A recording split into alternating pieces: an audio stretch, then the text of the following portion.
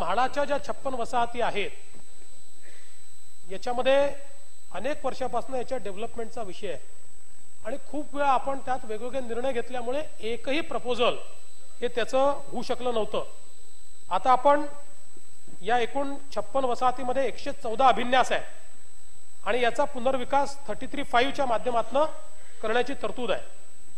आणि याच्यामध्ये जे काही आपण वेगवेगळे निर्णय घेतले त्याच्यामध्ये माडा वसाहतीच्या पुनर्विकास जलद गतीने होण्याच्या दृष्टीनं तीन सात दोन हजार सतराच्या अधिसूचनेअन्वये आपण तेहतीस पाच मध्ये काही सुधारणा केल्या.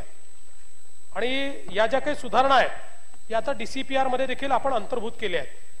आणि याच्यामध्ये आपण मी सगळ्या सुधारणाच्या संदर्भात सांगत नाही पण याच्यात सगळ्यात महत्वाचं काय आहे तर आता आपण म्हणाला काय होतं की याच्यामध्ये आपण जरी सुधारणा केल्या तरी देखील त्याच्या लेआउटच्या मंजुरीला जावं लागायचं कॉर्पोरेशनकडे.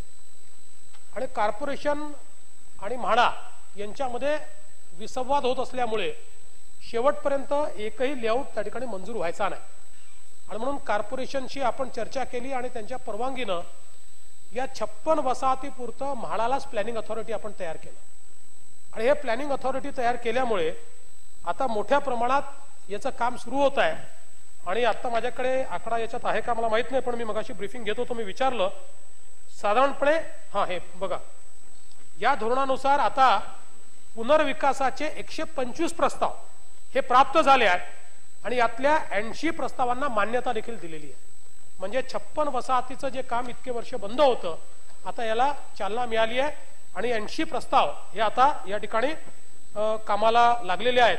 आणि याकरता म्हाडाच्या वतीनं एक वेगळी व्यवस्था पूर्ण उभी केलेली आहे. यासोबत स्वयं पुनर्विकास हा एक अतिशय महत्त्वाचा निर्णय हा आपण या ठिकाणी घेतला आहे आणि याच्यामध्ये आता हाऊसिंग सोसायटीजनी प्रचंड मोठा रस दाखवला आहे आणि खूप मोठे त्यांचे मेळावे झाले. आणि या संदर्भात आता म्हाडामध्ये एक वेगळा कक्ष आपण तयार केला आहे आणि आतापर्यंत पाच सहकारी गृहनिर्माण सोसायट्यांना स्वयं पुनर्विकासाची मान्यता देण्यात आली आहे. त्याचं काम देखील सुरू झालेलं आहे. आणि आता या माध्यमातनं म्हणजे हे साधारणपणे बिल्डर नेमायचा मग ते बाहेर जायचं मग त्याच्यातल्या ज्या अडचणी यायच्या या सगळ्या अडचणी यातनं दूर होत आहेत. आणि मोठ्या प्रमाणात सोसायट्या हे काम या ठिकाणी करण्याकरता तयार झालेल्या आहेत.